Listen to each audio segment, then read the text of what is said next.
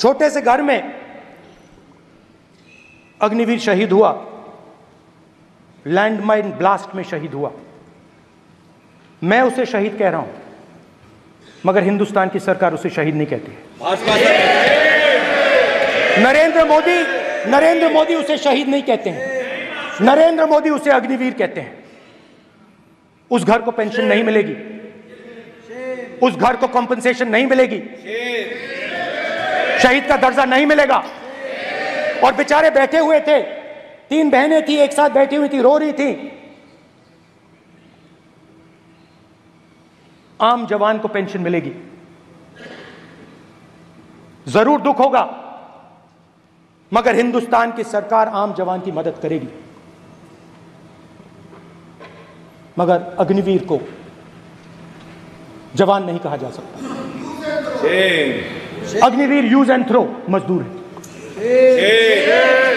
और आप उससे कहते हो उसको आप छह महीने की ट्रेनिंग देते हो। छह महीने की ट्रेनिंग देते हो। दूसरी तरफ़ चाइना के जवान को पाँच साल की ट्रेनिंग मिलती है। राइफल लेकर उसके सामने खड़ा कर देते हो। उसके दिल में भय पैदा करते हो।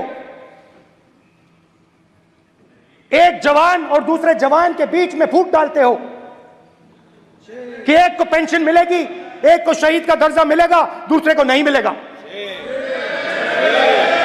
और फिर अपने आप को देशभक्त कहते हो। ये कैसे देशभक्त हैं?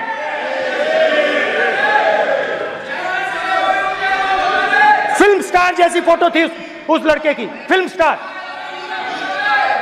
बॉलीवुड स्टार की फ़ोटो थी। मैं सोच रहा था देखो इस इस इस युवा ने जान दी। स्पीकर सर सर अध्यक्ष महोदय अध्यक्ष महोदय। एक आदमी सब पर भारी। अध्यक्ष महोदय मैं नेता प्रतिपक्ष से अनुरोध करना चाहूँगा। चाहूँगा गलत बयानी करके सदन को गुमराह करने की कोशिश गलत नहीं है सर गलत नहीं है सर देना चाहता हूँ कि गलत नहीं है सर। अथवा। सीमाओं की सुरक्षा के दौरान यदि हमारा कोई अग्निवीर का जवान शहीद होता है तो उसके एक करोड़ रुपए की धनराशि सहायता के रूप में उसके परिवार को मुहैया कराई जाती है। इस प्रकार की गलत बयानी से सभी को गुमराह करने की कोशिश नहीं की जानी चाहिए संसद महोदय अध्यक्ष। Speaker sir.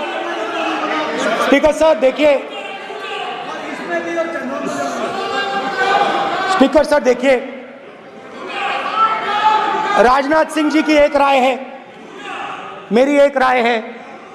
सच्चाई अग्निवीरों को मालूम है। हमें बोलने की ज़रूरत नहीं है।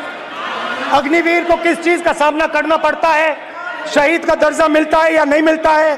कॉम्पनसेशन मिलता है नहीं मिलता है? पेंशन मिलती है नहीं मिलती है? वो उसको मालूम है। पॉइंट ऑफ़ ऑर्डर है मान्यवर।